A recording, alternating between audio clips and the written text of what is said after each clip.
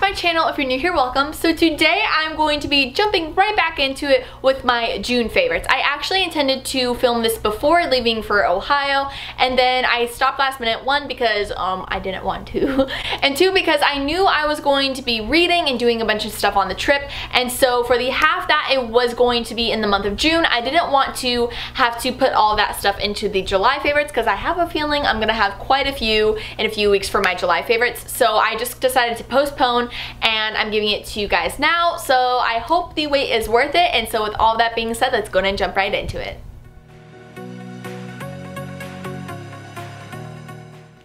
Okay, so as usual, we're just going to start off with some makeup favorites. So a product I have been loving is my Tarte Mermaid Skin Serum.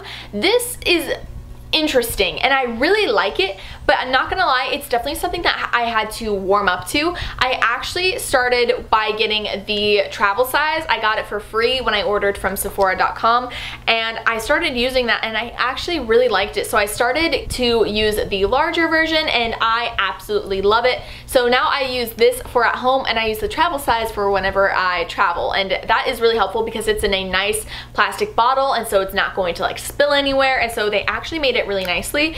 And the thing I love about this is how it just kind of smooths out your skin. Now, I'm not gonna lie, I'm not really a serum person. I don't tend to use a bunch of serums on myself, so that could play into the fact that this texture was kind of weird for me because it's not sticky, but it's not smooth. I don't know how to describe it, but I still really like it. I feel like it also kind of helps my makeup lay better. And so I don't know, maybe I'm just weird. If you guys have used this, let me know if you like it because it's definitely interesting, but it's a good kind of interesting. It's one that I kind of like to use more because it just is so different, I guess. So my next favorite has definitely gotten a lot of use and you're going to be able to tell that just by looking at it. But these are my Ardell 231 lashes and I am absolutely in love with these lashes. I basically use this for every makeup tutorial on myself for the month of June. So that might be why some of the lashes look similar is because it's all this guy and I love them so much. I feel like they're so beautiful and so I'm definitely gonna have to go back to HEB to get some more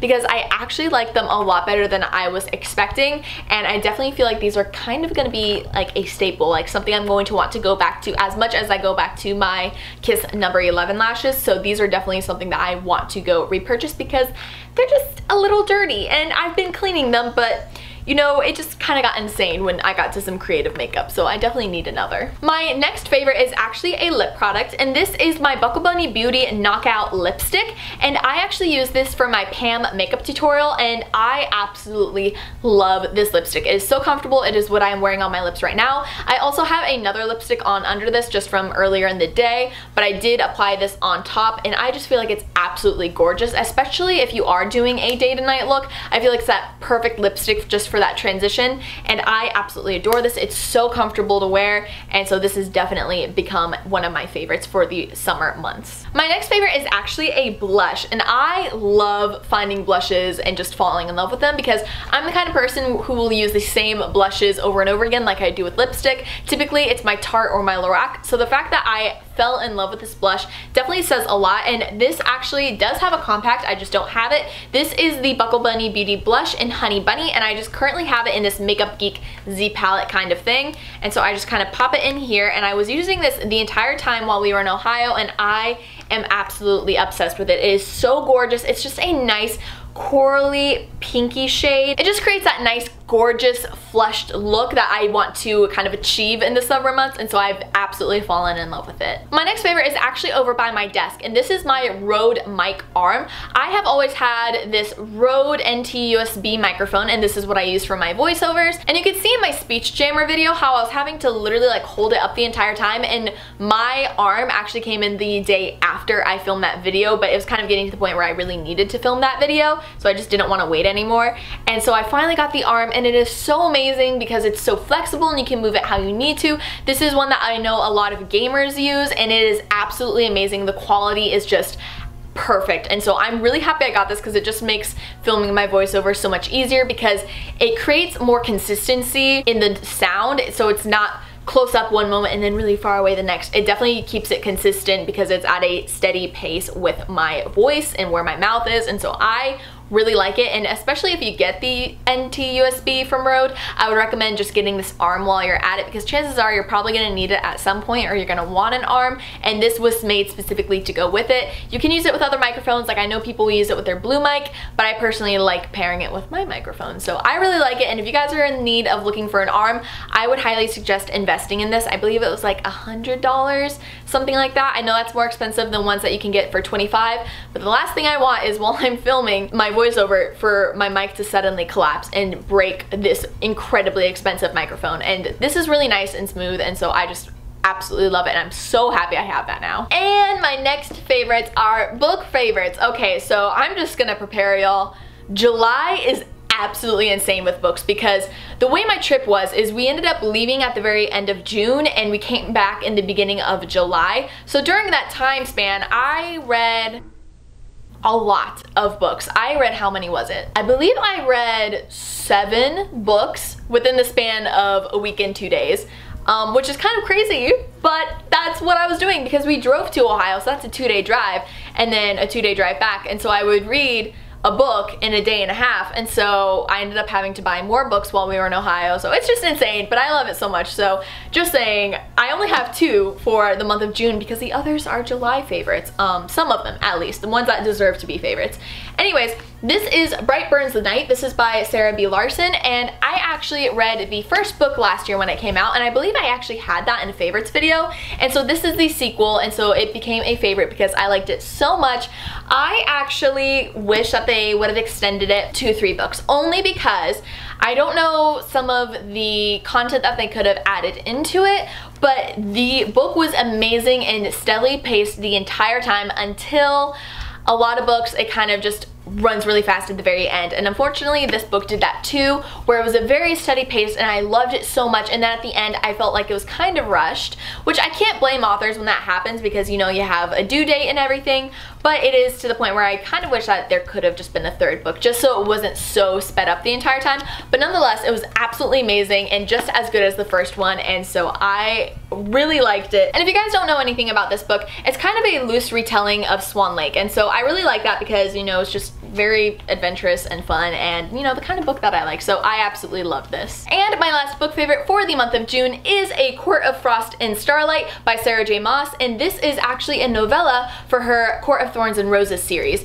And obviously it's not as long as the other books that she's written or just other books in general, but it is because it's a novella. It's kind of in between a novella and a book. It's like that pretty in between stage because I do like how it was a little bit longer. I don't personally like when authors have to cut things short just because of a limitation and so I personally like when they can actually fully embellish the story because you know it adds more detail and it helps create you know imagery in the reader's mind and I really appreciate that and I really love this. It personally and this isn't saying anything bad, but out of the Court of Thorns and Roses series, my favorite is A Court of Mist and Fury, and then A Court of Thorns and Roses, and then A Court of, which one is it? Wings and Ruin. And then I would say this one, but that's also because it's a novella. There's not a huge like story going on. It's kind of just filling in the blank before the next series. And so I mean, I felt like it did a really good job. It did its job. So I really absolutely loved it and I would definitely recommend it if you like any, you know, fanciful books or if you're just a fan of Sarah J Maas. I'm sweating because I've been out all day and I didn't really use powder, so yay. So my next two favorites are actually musical soundtracks and that is because whenever I really got into these it was because the Tonys just finished up so I got to do a little bit more research because of that. So my first musical favorite is Mean Girls on Broadway and I absolutely loved this. If you guys have heard the soundtrack I'm sure you like it too and a great thing about this is I feel like every time I listen to it I just hear other musicals in the midst of this musical composition and it's literally because I will hear a song and I'm like oh that sounds like Book of Mormon. Oh, that sounds like Mamma Mia.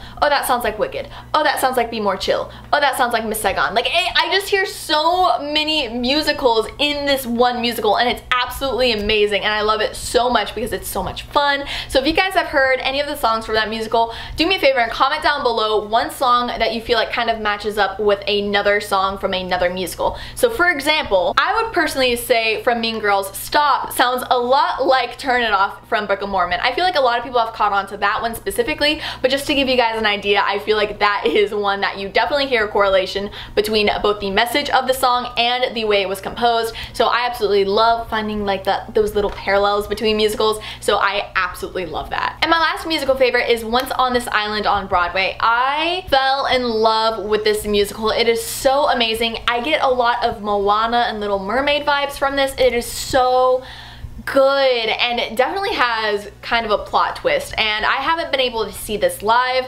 so I'm definitely trying to get the story through the musical and just through the songs.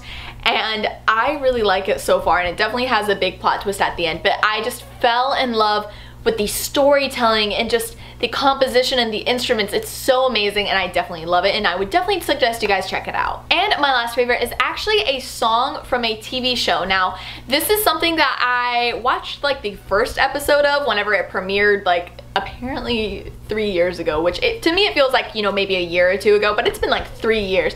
And this is that Tangled TV show. It's whenever they brought back all of the actors like Zachary Levi and um, Mandy Moore and they just decided to continue the Rapunzel story through a TV show, which I think is cool. The animation is definitely different, which I think is the only thing that kind of like holds me back from like properly enjoying it. But they have guest star Jeremy Jordan as one of the reoccurring characters and he plays a character named Varian and I'm just saying you guys, Jeremy Jordan has, in my opinion, the best voice on earth. I just feel like every note comes from the soul and it's so so amazing. So he has got a few really good songs throughout the TV series that I've just heard via YouTube and first of all I just think it's amazing that Alan Menken literally writes songs for Jeremy's voice because Jeremy has such an amazing voice. Like you can just tell if you listen to Jeremy Jordan all the time that these songs were written for his voice and that just makes my heart all fuzzy because he has such a good voice. Anyways, he sings this song along with all of the other main characters and it's called Ready As I'll Ever Be and it is so, so good. And I think he also has another one, it's called like Make You Proud. Yeah, I think it's called Make You Proud and he also has a reprise of that as well. All three songs, he just always hits those notes and honestly I feel like I like these songs the most because Jeremy Jordan is singing them. Like I don't always even associate them with Tangled the TV series, I just see it as Jeremy Jordan being an amazing singer and person as he always is. So I love it so much. I highly suggest you guys check it out. Once again, I will leave all the links in the description box below if I can find them. Usually I can. If not, I try and find similar things because I understand the frustration of the internet being too big and my abilities being too small. So I try and help you guys out as much as possible. Anyways, that is it for my favorites for the month of June. Thank you guys so much for watching. I really hope you enjoyed it. Leave a comment down below what you'd like to see next. Do not forget to give this video a big thumbs up if you enjoyed it and subscribe to my channel if you want to see more videos like this. Also, do not forget to turn on the notifications so you can get notified whenever I upload a video because I know YouTube is kind of being weird and like hiding people's videos under the rug and I feel like if you subscribe to my channel, you want to see my videos so, you know, turn on your notifications, see what it's like to keep up with my um, fun uploading schedule. And if you don't like it, turn it off. I, I it's fine. I, I I understand that notifications can be kind of annoying, especially if you have notifications on for every other YouTuber. So it's whatever your heart desires. Anyways, thank you guys so much for watching. I really hope you enjoyed it. With all that being said, I will see you guys in the next one. Bye!